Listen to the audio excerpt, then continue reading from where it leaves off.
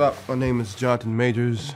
I am Nat Love in The Harder They Fall, streaming on Netflix. And this is Off Script. I am sorry. Jeymes Samuel, um, our director, and uh, I think Boaz, another writer on the film, they did a wicked job of building this incredible world. And a part of my process is, is that there is no script in many ways. You know, there's certain things that have to be said, certain things that have to be accomplished in the story. And that's something that I really you know, leaned into. For instance, one of the most, I think, epic lines of improv uh, for all of us uh, was uh, blow that bitch bill.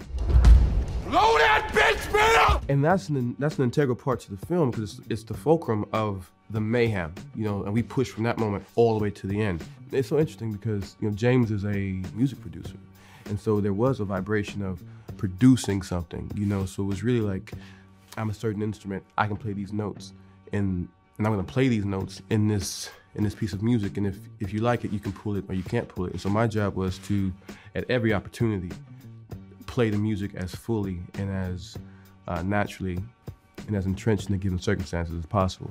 And there was really no pushback on that from Jeymes, and we kind of rode with it. Hey, Blue Eyes.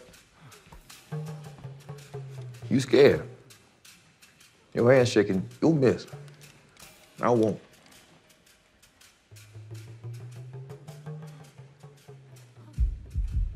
Exhale. The only thing I contribute is the spirit of the character.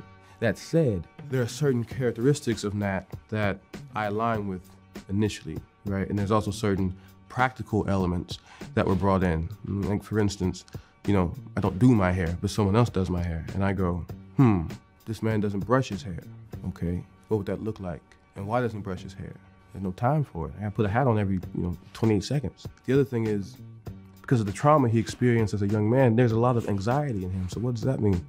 Well, PC or not, he's a smoker, right? Because nicotine calms you down. And he's always fighting within himself. So that's why he smokes the cigarillo, how he rides his horse, the way he was built. Nat Love is a lot slimmer than I am because he's a man of the West, right? He's a nomad, he's moving around, he's holding his horse.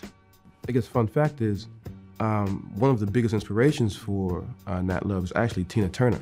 The wildness that she has, right? The amount of pain that she's experienced in her life, though different from that. She's trying to break through something. She's been torn down in many ways, and she's on a mission, you know? And so, yeah, I used her language, her use of speaking, and kind of melded that with the nomadic lifestyle I've had growing up in Texas, living in New Mexico for some time, traveling around. You take all those things and put them together, and all of a sudden you have this this Nat Love uh, character. The idea is to just kind of smooth it all out so no one can tell what's what and who's who.